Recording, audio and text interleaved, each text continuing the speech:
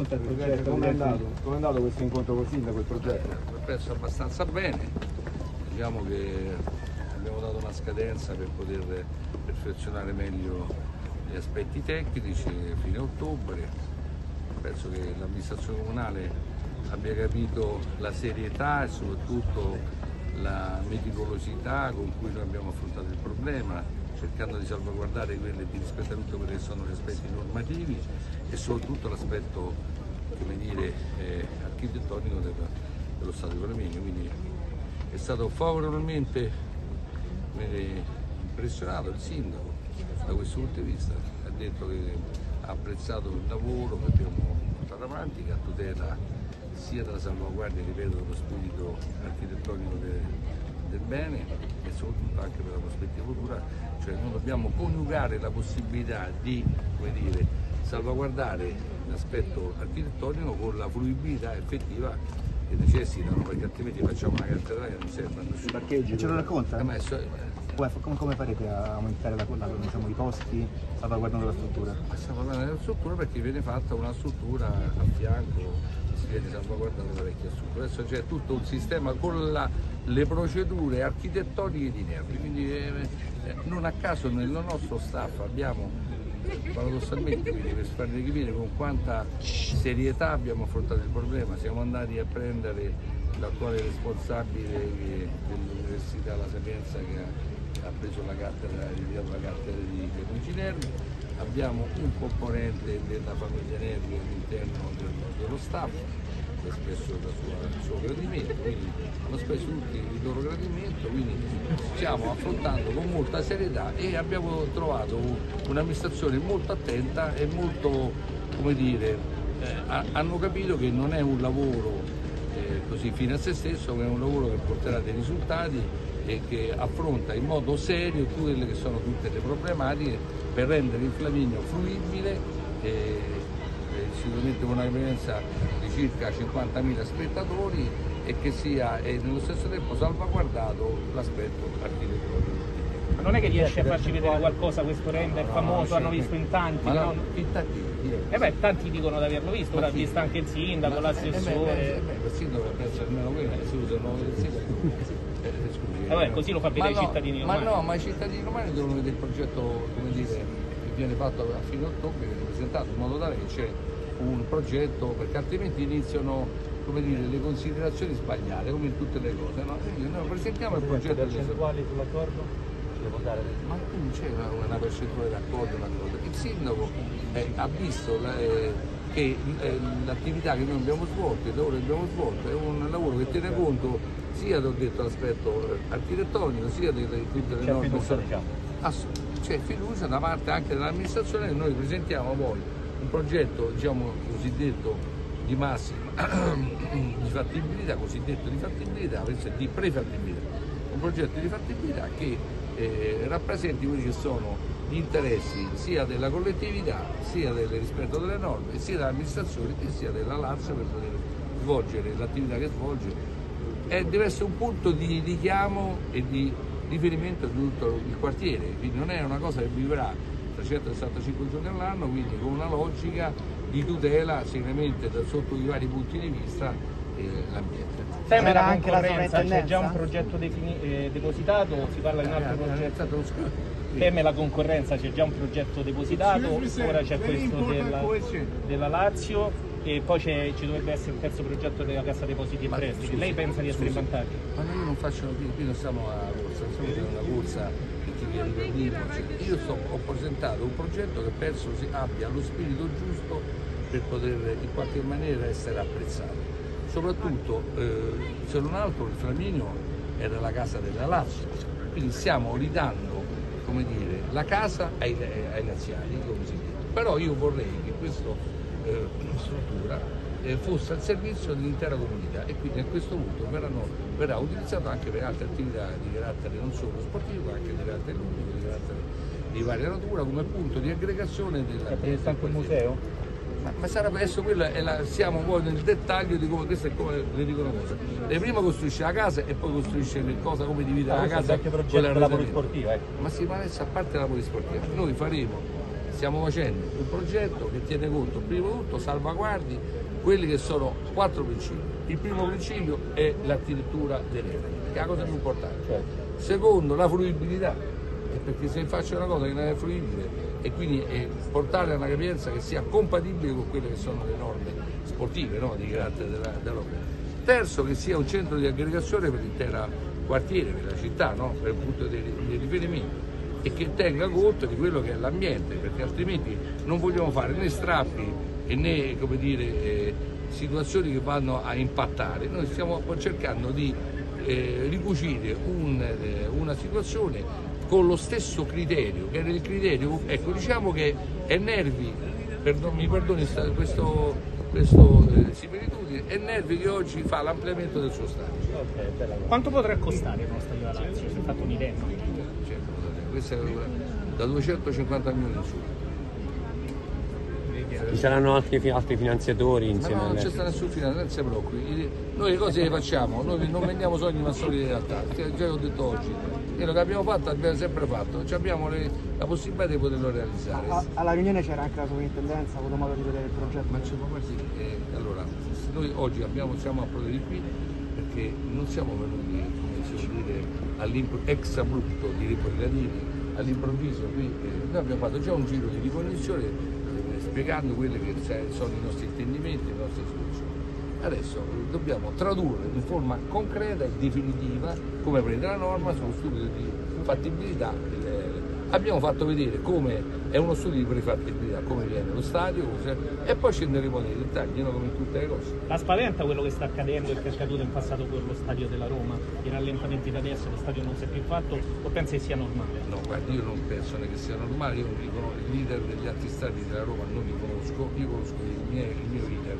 Io proprio per evitare che ci possano essere incidenti di percorso, dettati soprattutto anche da comportamenti magari di persone che fanno fuga in avanti, io eh, ho evitato di fare qualsiasi considerazione e di prospettare qualsiasi cosa che venga considerata definitiva. Quindi io nel momento in cui presenterò eh, il, il progetto di prefattibilità significa che sta- sarà stato già recepito a grandi linee da quelle che saranno gli organismi della proposta. E se verrà bocciato questo progetto di ricercabilità? Questo di come fa essere bocciato io dico che già ho fatto le ricostruzioni informali. Poi dopodiché ci Quindi può è essere- certo che il Flaminia gli No, ma, io- no, ma io non c'è. No, scusi, un'altra cosa. scusi. Parliamo dello studio architettonico, poi altri temi sono di altra natura, quindi non so. Io dico soltanto che il comune ha ricevuto positivamente questa nostra iniziativa.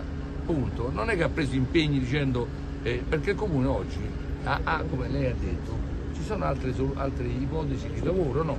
Ecco, noi abbiamo presentato la nostra ipotesi di lavoro che riteniamo sia la più eh, calzante nell'interesse della collettività, nell'interesse della città, nell'interesse diciamo, dello sport, nell'interesse del punto. Questo abbiamo fatto.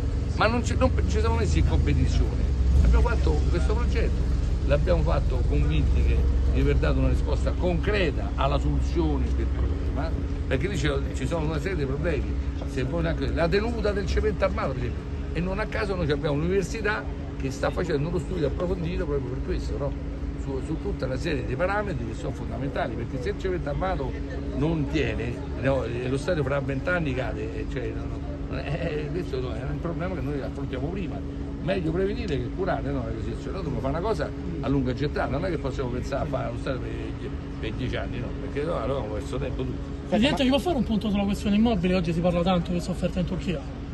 Me lo sta dicendo lei, io non la conosco. Eh, in Turchia sono sicuri che è fatta immobile al Besiktas. Eh, ci può dire qualcosa? eh, io però, eh, scusi, eh, iniziamo su una cosa, questo, come quello dice, se sposa con una persona, io non conosco la sposa, non, non lo so, poi, eh, eh, io lo dico con tutta onestà, eh. io, non ricevo, io personalmente, la mia società non ha ricevuto nessuna offerta. Non ci sono stati incontri o call neanche con Immobile? Guardi. Si parla del giocatore che ha accettato l'offerta. Ma c'è- scusi, posso dire una cosa? Allora, mi perdoni. Immobile è un giocatore della Lazio, giusto? Sei d'accordo? Beh, bravissimo. Eh, ha un contratto con la Lazio. eh. La, eh, la Lazio non ha ricevuto nessuna offerta dalla società che vuole acquisirlo. Quando riceverà un'offerta di acquisirlo lo valuterà. Ad oggi noi non abbiamo avuto, ricevuto nessuna offerta. Senta, un anno fa proprio qui in Campidoglio alla riunione degli arbitri lei disse la mia Lazio costruire una Lazio che potrà competere con tutti. Non dico vincere lo scudetto, però potrà battere tutti. Sta No, progettando... detto. Potrà competere, tentare di battere tutti. Non credo questo lo dice. No, nel detto, senso- potrà competere. Va bene, pensi costruire una squadra allo stesso modo anche quest'anno o cambierete queste cose? No, quindi cambia nessuno presupposto. Allora così fughiamo un'altra volta, per stamattina, ripeto, da- soprattutto per i colori che non, hanno ascoltato. Allora, la Lazio nessuno sta facendo un ridimensionamento della società, tutt'altro, tutt'altro. Stiamo ri- dire, ristrutturando che cosa? Eh, un'organizzazione in modo diverso perché fare calcio oggi è diverso da farlo come si faceva 15 anni fa, 10 anni fa. Oggi c'è un calcio più fisico, più legato alla- eh, chiar- chiaramente alle potenzialità fisiche, più legato allo spirito di gruppo e, e po- e un po' meno alle singole dire, eh, peculiarità dei singoli giocatori. Quindi questo comporta uno studio, non a caso abbiamo preso un allenatore che valorizza eh, chiaramente, eh, d'altro canto il calcio è un gioco di squadra, non è un, non è un gioco no? quindi essendo un gioco di squadra bisogna allestire una squadra che sia competitiva e che lavori all'unisono per raggiungere gli obiettivi, perché nel momento in cui ci sono delle discrasie all'interno dello spogliatoio che determinano chiaramente eh, non un'omogeneità di comportamento e soprattutto che determinano non un affiatamento, non un'unità di intenti, si possono creare delle condizioni come si sono create lo scorso anno che nonostante avessimo una squadra competitiva, lo dicono i fatti, abbiamo perso con società, noi non siamo andati in Champions perché abbiamo perso con società che avevano meno attrezzate noi, vi ricordo, con la Salernitana che è retrocesso, con Lecce che sicuramente non è retrocesso, con Genova, con tutta una serie di squadre che potevamo evitare di perdere. fiducia a Baroni, con Baroni tornerete in Champions. Noi fiducia che con Baroni fa allestiremo una squadra competitiva che si confronterà alla pari con tutti e cercherà di migliorare la posizione di quest'anno.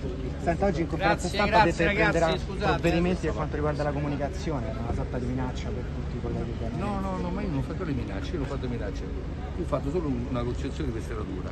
E la co- siccome ecco, tutti parlano di situazioni che senza conoscerne la portata, per esempio dicono delle cifre che sono state spese che non corrispondono alla realtà, perché se lei va in un negozio, compra un bene, quel bene eh, ha un valore complessivo che comprende pure l'IVA. no?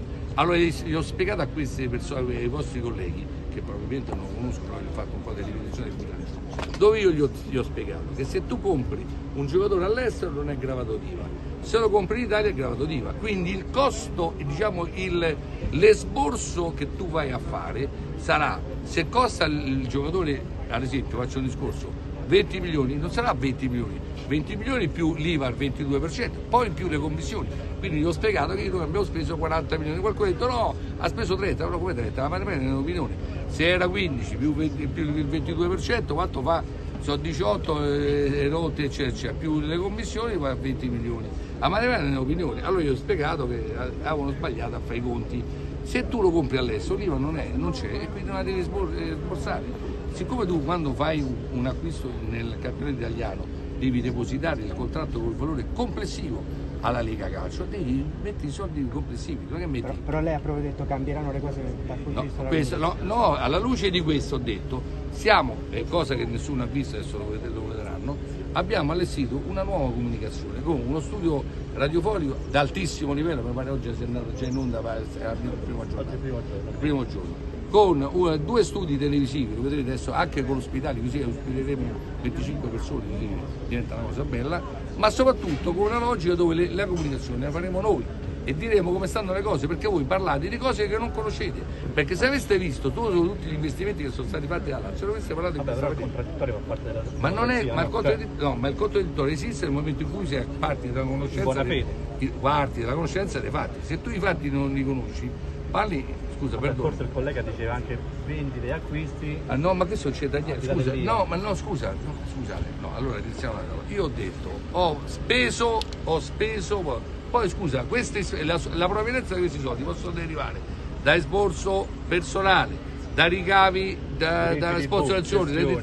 Da, cessioni, quella è un'altra cosa, è un altro compa- Io non ho detto ho un delta positivo, negativo, ho speso 101 milioni, era riferito lo scorso anno, di- rispetto a quello concassato. Allora io eh, hai ragione, quello si chiama un gap, cioè si chiama un delta negativo. Io ho detto ho speso quella cifra, poi lui mi ha fatto il conto de Milinkovic, cioè io, io ho spiegato, Milinkovic è stato fatto pubblico perché la, la Lazio è una società quotata, quindi porta e riporta 40 milioni, ha incassato 20 milioni l'altra traccia la deve ancora incassare, la incasserà, beh, auguriamoci che c'è la casa per carità, siamo convinti, speriamo, no? Quindi di che parliamo? Stiamo parlando di nulla. E, e quest'anno abbiamo speso 40 milioni perché noi abbiamo depositato i contratti che pagano quella cifra, quindi quell'impegno. Poi se lo dico vince all'Enalotto, stavo dicendo apposta per far ridere, dico vince all'Enalotto e in casa 200 milioni, dice 200 meno quello, magari non c'entra niente, no? Non è che io vado, scusi io dico quanto ho speso, e quanto ho speso nel caso dell'Italia eh, bisogna aggiungerci l'IVA, 22%. E quello è una spesa.